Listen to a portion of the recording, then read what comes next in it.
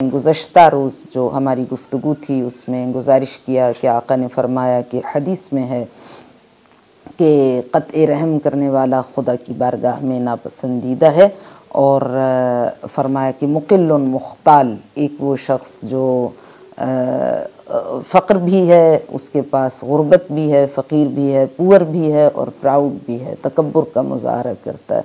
चूँकि तकबर वैसे ही नापसंदीदा सिफत है, दौलतमंद अहल सरबत अफराद के लिए भी, लेकिन नापसंदीदा तरीन है उस शख्स के लिए कि जिसके पास दौलत भी ना हो, फिर भी वो तकबर करे। और मलिकुन जब्बार, टायरेंट, अनजस्ट रूलर जो लोगों पर मुसलत हो जाए, इनकी बख्शिश खुदा की बारगाह में मुमकिन नहीं। दूसरी हदीस में जो तीन कलिमात इरशाद फरमाए, उसमें फरमाए शेख ज़ान व मुकिल मुख्ताल व मलकुन जब्बार। फरमाए कि शेख ज़ान, वो शख्स जो ज़यीफ़ हो गया है या बड़ा हो गया है, लेकिन एल्डरलीनेस के बावजूद भी वो सिंफुल एक्ट कमिट करता है खाली के कायनात, उसको बख्शेगा नहीं। हम गुजारिश कर रहे थे कि बाज़ लोग सवाल करते हैं कि अगर उनके वालदेन इतात गुजार नहीं हैं, नेक नहीं हैं, अल्लाह के फर्मा बरदार नहीं हैं तो वो वालदेन की फर्मा बरदारी कैसे करें? तो यहाँ पे हम आपसे बहुत सी अहादीस भी शेयर करेंगे और कुरान करीम की आयत भी कुरान में पाँच मकाम ऐसे हैं जहाँ खालिक अकबर ने वालदेन की इतात को अपनी इतात के साथ जोड़ दिया है, अपने तस्करे के साथ, वालदेन के तस्करे को बिला फासिला बयान किया है। जैसा कि कुरान करीम में सूरह मुबारक इसरा में इरशाद फरमाता है कि कज़ा, व कज़ा रब का अल्लाह तबुद व बिलवालदेन तुम्हारे खुदा का अटल फैसला है, हतमी फैसला है, कतई फैसला है, नाकबिल तगैर है कि अल्लाह तबुद हो उसके सिवा किसी की परस्तिश ना करना। इसलिए कि इन शिरकल अजीम। खुदा की परस्तिश सिर्फ़ खुदा वहदा शरीक की मबूद यकता की, व बिल और अपने वालदेन के साथ एहसाना, उसने सलूक करो। और इमयबलगन्ना इंदमल किबर अहदुमा और किलाहुमा। जब वो इंतहाई ज़्यादा ज़यीफ़ हो जाएँ और उनकी अक्ल काम करना साथ छोड़ दे, मेमोरी लॉस हो जाए, उनको बात भूलना शुरू हो जाए, उनको समझ न हो कि किस तरह अपनी औलाद से बात करें, उन्हें मुखातिब करें तो उस वक्त उनके साथ ला तकुल्लाहुमा उफ़िन वो कितना भी ज़्यादा तुम्हारे साथ नाराबा सलूक करें, ला तकुल्लाहुमा उफ़ उनके सामने तुम्हारी ज़बान से उफ ना निकले। वाला तन हरमा उन्हें सख्ती से मना न करना बात करने से। और कुल्लाहुमा कौलन करीमा। उनके साथ नरमी से पेश आओ, पसंदीदा बात करो, मुनासिब बात करो, शाइस्ता बात करो, लहजे की नशस्त व बर्खास्त को पेश नज़र रखो, सौत सदा के नशेब व फराज को, आवाज़ के उतार चढ़ाव को, अल्फाज के इंतखब में इंतहाई एहतियात का मुजाहरा करो। कहीं ऐसा ना हो कि तुम दुनिया के वो बदबख्त इंसान बन जाओ जिससे तुम्हारे वालदेन हर्ट हो, उनके दिल को तकलीफ़ पहुँचे, उनकी दिल आज़ारी हो, ला तकुल्लाहुमा उफ़न उफ़ ना कहना। और यहीं तक तुम्हारी ज़िम्मेदारी ख़त्म नहीं होती, बल्कि अगर तुम देखो कि तुम्हारे वालदेन प्रैक्टिसिंग नहीं हैं, वो इस्लामी तालीमत पर अमल नहीं करते, बल्कि वो सिन, वो सिनर्स हों, वो गुनहगार हों, वो क्रिमिनल्स हों, वो जराइम पेशा अफराद हों, वो इंतहाई बुरे हों, वो असलन इस्लाम ही को ना मानते हों तो भी तुम्हारी ज़िम्मेदारी क्या है? कि सिर्फ़ ये नहीं कि दुनिया में उनके साथ नरमी से पेश आओ, बल्कि खुदा की बारगाह में दरख्वास्त गुजार हो जाओ, रब, कुल रब हम उमा कमा रब यानी सगीरा। बजाय इसके कि तुम उन्हें क्रिटिसाइज़ करो कि ये हमारे वालदेन कैसे हैं, ये अपनी उम्र का भी लिहाज नहीं करते, ये इस तरह के शर्मनाक अमाल अंजाम देते हैं। इसकी बजाय खुदा की बारगाह का रुख करो और कहो, कुल रब उमा कमा रब यानी सगीरा। परवरदिगार, इनकी गलतियों को, इनकी ख़ताओं को, इनके इश्तबाहत को, इनकी बुराइयों को उसी तरह मुआफ़ कर दे, जैसे बचपने में ये मेरी गलतियों से दरगुजर करते थे। एक शख्स मम्मर इबन खल्लाब इमाम की खिदमत में हाजिर हुआ और उसने कहा कि मौला, मेरे वालदेन अद लाहुमा, इज़ा कान हक़, क्या मैं अपने वालदेन के लिए फिर भी दुआ करूँ जबकि वो हक़ को पहचानते ही नहीं, मानते ही नहीं? तो आका ने फरमाया कि उद उदमा व तसदक अनहुमा। सिर्फ़ ये नहीं कि उनके लिए दुआ करो, बल्कि दुआ भी करो और उनका सदका भी उतारो। कहा, वो किस लिए? कहा कि जब तुम्हारा बच्चा जिद करता है, बच्चा कोई गलती करता है तो तुम कहते हो कि नज़र बद की वजह से ऐसा हो रहा है, तुम उसका सदका उतारते हो। तो हो सकता है कि तुम्हारे वालदेन के साथ भी यही सूरत हो। तो उनका ना सिर्फ़ ये कि उनके लिए दुआ करो जब वो खिलाफ हक चल रहे हों, बल्कि उनकी जानब से सदका भी दो। और एक और शख्स के बारे में है कि वो इमाम की खिदमत में उसने ख़त लिखा और जब उसने ख़त लिखा तो उसने लिखा कि एक शख्स आया इमाम की खिदमत में, उसने कहा कि मेरे दामाद ने उसने रिवायत की कि मेरे दामाद ने इमाम को ख़त लिखा। वो कहता है कि उसने लिखा, काल सहरुल्ली कतबा इला अबी जाफ़र मेरे दामाद ने इमाम की खिदमत, इमाम में ख़त तहरीर किया और उसमें लिखा कि, इन्ना अबी नास से भी मेरा जो वालिद है, वो एक ऐसे अकीदे से ताल्लुक़ रखता है जिसमें वो आयम खुदा को बुरा भला कहता है। कद लकी तो मिन हो शिद्दतम व हजरा। और जब मेरा आमना सामना उससे होता है तो वो और ज़्यादा नाजेबा ज़बान इस्तेमाल करता है, खिलाफ हक ज़बान इस्तेमाल करता है, इस्लामी अकायद को झुटलाता है, इस्लाम की मुक़दस शख्सियात के बारे में नाजेबा, नारवा, नापसंदीदा गलीज़ कलिमात इस्तेमाल करता है। तो अफतरा जो इल्तफ़ाक मैं आप पे क़ुरबान, मुझे बताइए कि यहाँ पर मेरी ज़िम्मेदारी क्या है?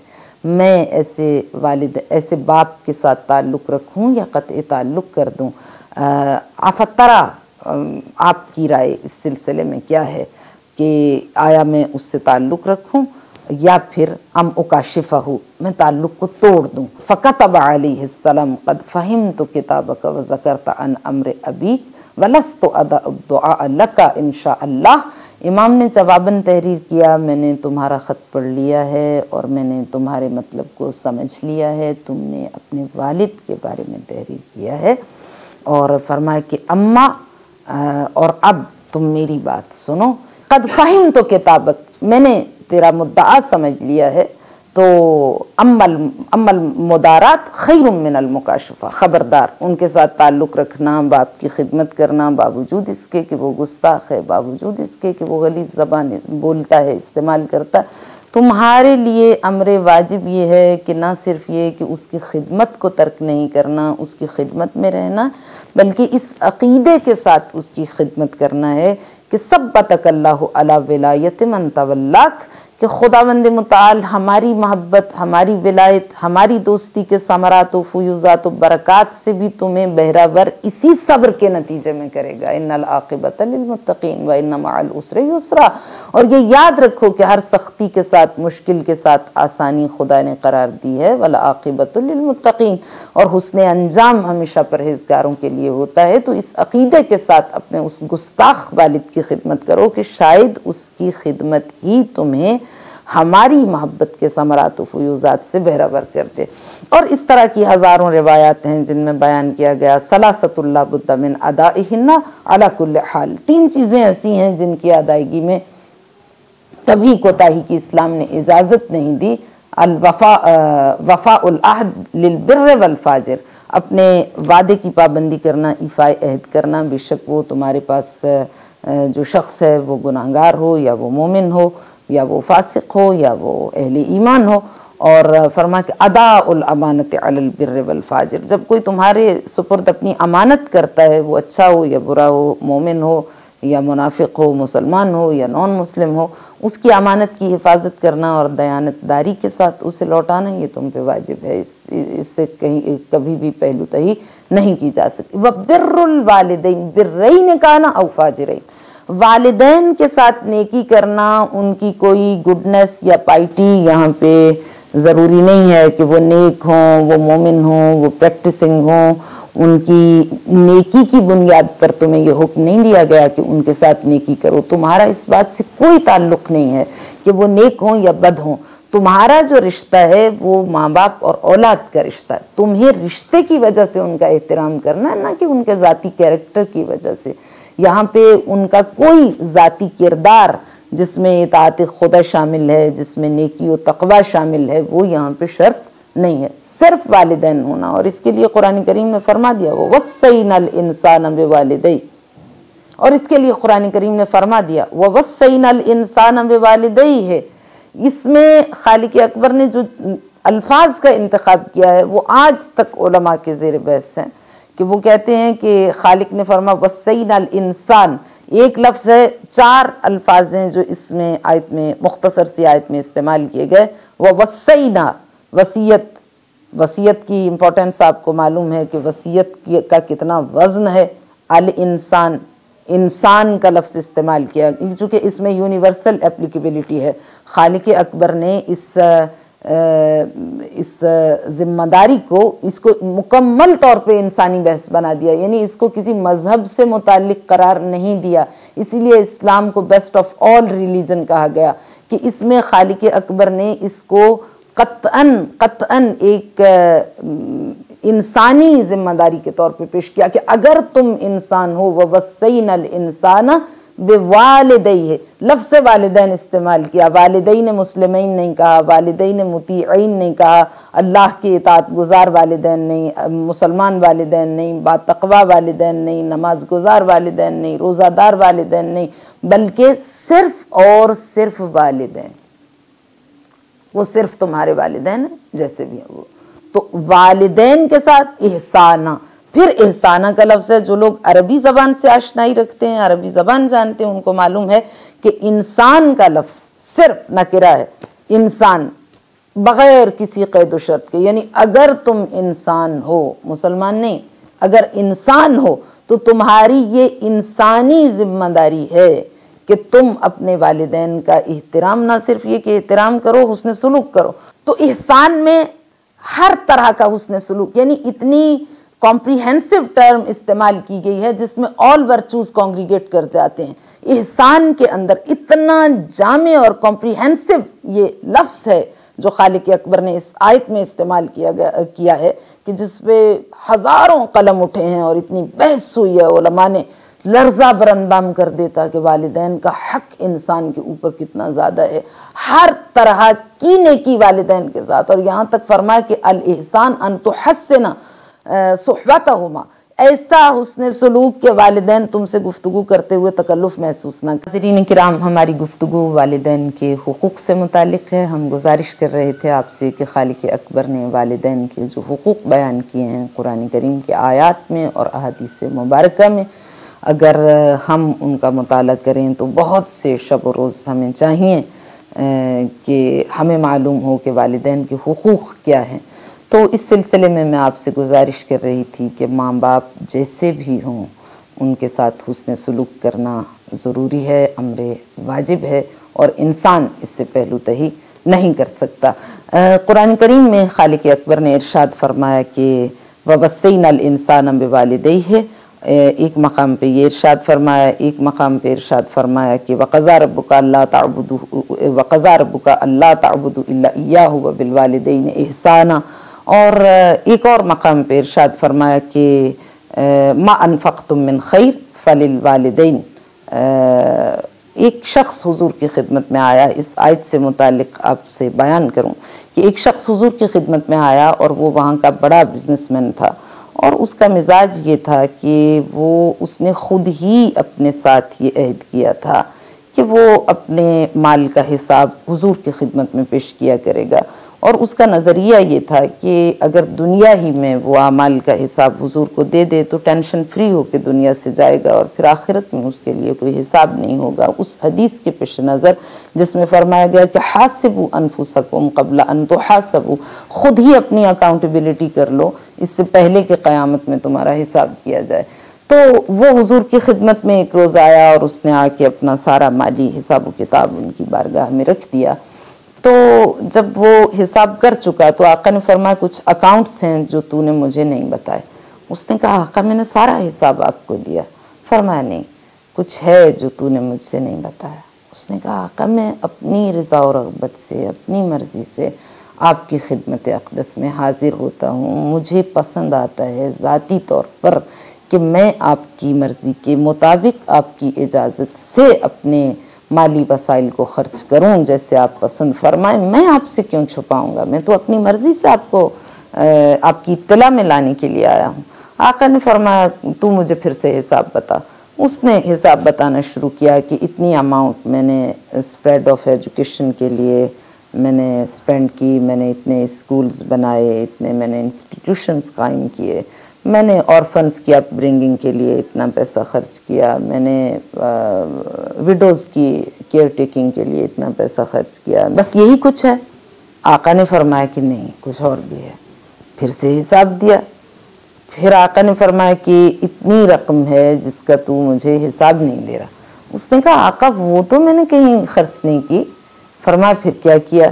कहा, वो तो मैंने अपनी माँ को दिए थे। तो सरकार रसालत सल्लल्लाहु अलैहि वसल्लम के लबान मुबारक पर एक लतीफ़ सा तबस्सुम आ गया। आका ने फरमाया कि सबसे ज़्यादा मोस्ट कमेंडेबल डीड जो तूने परफॉर्म की है चैरिटी की सबसे बेस्ट फॉर्म जो तूने अपनी माँ को दिया। उसने कहा, लेकिन मेरी माँ तो मुस्तक नहीं है। आका ने फरमाया, तुमने कुरान नहीं पढ़ा? आका, आप इसे तो पढ़ा। तो आका ने फरमाया कि कुरान फरमाता है मा अनफक तुम मिन खैर फलिल वालदेन। जो सबसे बेहतरीन राह खुदा में खर्च करना है, वो अपने वालदेन पे। और बेशक वो ज़रूरतमंद ना हों, वो नीडी ना हों, बेशक वो बहुत ज़्यादा रिच हों, मालदार हों, बेनियाज हों, गनी हों, उन्हें तुम्हारे पैसे की ज़रूरत ना हो, लेकिन अपने माल में से जो बेहतरीन माल है उसे कमाल इनकसार के साथ, तवाज़ो का पैकर बन के इनकसार की तस्वीर बन के, वालदेन की बारगाह में जो कुरान करीम ने हमारे सामने बयान किया कि वक़फ़ज़ला जना हज़ुल्लमिनरहमा उनकी बारगाह में ज़िल्लत से अपने शानों को झुका दो। बेशक तुम सोशली कितने ही वेल इस्टेब्लिश्ड ही क्यों ना हो, तुम कितने फाइनेंशली साउंड हो, तुम तुम कितनी अथॉरिटेटिव पोजीशन पे पहुँच जाओ।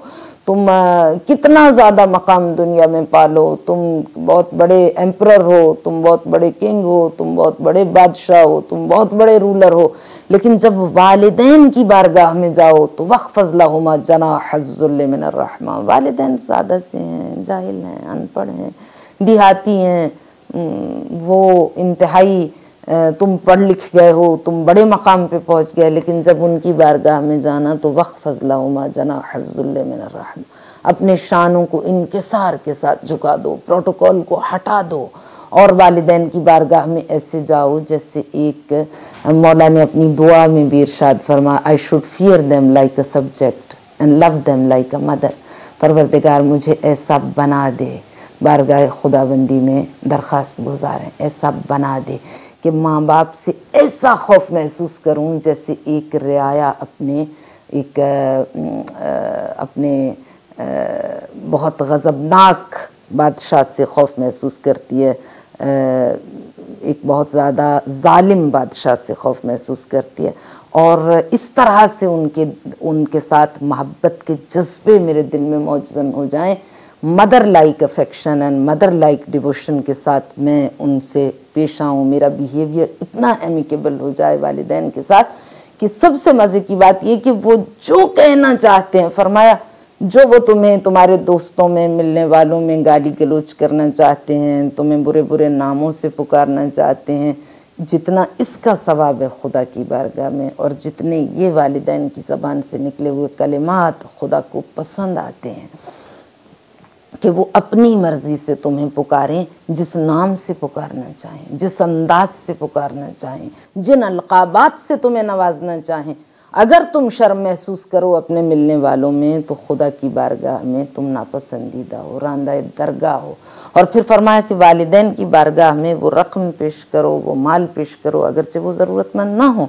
और फिर इस अंदाज से कि उनको पूरी फ्रीडम दो उन्हें पूरी आज़ादी हो कि वो जहाँ मर्ज़ी चाहें उस पैसे को ख़र्च करें। ऐसा ना हो कि वालदेन तुम्हारा खौफ महसूस करें कि अब औलाद ने दिया है तो हमें एहतियात के साथ ख़र्च करना चाहिए। बल्कि फ़रमाया कि बसा अवकात ये होता है, चूँकि ये इंसानी ज़मीर की साख्त से आगा हैं शख्सियात जो हमारे लिए इन कवानीन को बयान कर रही हैं, आका नामदार सरकार रसालत माब सल्लल्लाहु अलैहि वसल्लम, जिन्होंने आदिस मुबारक में बयान किया, ये इंसानी ज़मीर की साख्त से आगा हैं, इंसानी नफ्सियात के नब्बाज हैं। लिहाजा फरमाते हैं, बसा अवत ऐसा होता है कि वालदेन की खिदमत तुम करते हो, गाड़ियाँ उनको तुम देते हो, इलाज मुआलजा तुम करते हो, हर तरह की सहूलत तुम देते हो, उनके ख्वाहिशात का एहतराम तुम करते हो, उनकी खिदमत में हर वक्त कमर बस्ता तुम रहते हो लेकिन मोहब्बत वो उस बच्चे से करते हैं जो सबसे ज़्यादा नालायक है, जिसने कभी कोई काम अंजाम नहीं दिया। तो फरमाया कि तुम पैसे देते हो, तुम्हारे पैसे दिए हुए उस पर भी खर्च करते हैं, अपने पे भी करते हैं, और फिर जब बात हो तो कहते हैं, ये उसने लिए फरमाया, ये झूठ खुदा को बहुत ज़्यादा पसंद वक्त जब तुम सब्र का मुजाहरा करो और कभी अपने किसी रवैये से, अपनी बॉडी लैंग्वेज से, अपने फेशियल एक्सप्रेशन से, अपनी ज़बान से निकलने वाले किसी लफ्ज़ से वालदेन को ये न जतलाओ कि मुझे मालूम है कि ये मेरा दिया हुआ पैसा है। और कभी उन्हें ये एहसास न दिलाओ कि तुम उनसे नाला हो, कि तुम्हारा दिया हुआ पैसा वो तुम्हारे ही किसी बहन भाई पे जिसने कभी उनकी कोई खिदमत नहीं की, खर्च करते अगर तुमने ऐसा किया तो तुम्हारी खिदमत को कल अदम करार दिया जाएगा। वालदेन के चेहरे पे आने वाला तबस्सुम और अपनी एक सप्लिकेशन में फरमाते हैं, अपनी मुनाजात के एक फराज में कि परवरदिगार मुझे ऐसा बना दे कि उनकी स्टेट ऑफ़ हैप्पीनेस को मैं अपनी खुशी से कहीं ज़्यादा डिज़ायरेबल समझूं और हती के वालदेन के चेहरे पर मेरी खिदमत के नतीजे में आने वाला तबस्सुम मेरे लिए इससे ज़्यादा कैफ अफजा हो, लज्जत अंगेज़ हो, जैसा थर्स्टिंग लिप्स को ड्रॉप ऑफ़ वाटर से जो तस्कीन मिलती है, उससे ज़्यादा सेटिस्फेक्शन मुझे मिले, मेरी स्पिरिचुअल सेटिस्फेक्शन का। बाइस बने मेरी रूहानी तस्किन का वालिद। और ऐसी मासूम ने ग्राफिक डिस्क्रिप्शन बयान की है उस state of submission and devotion की।